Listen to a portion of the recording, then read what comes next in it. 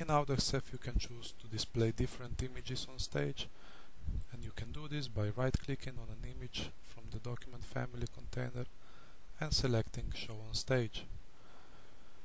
To remove the image from the stage, right-click on it and select Remove from Stage. To put it back in, select it and Show on Stage.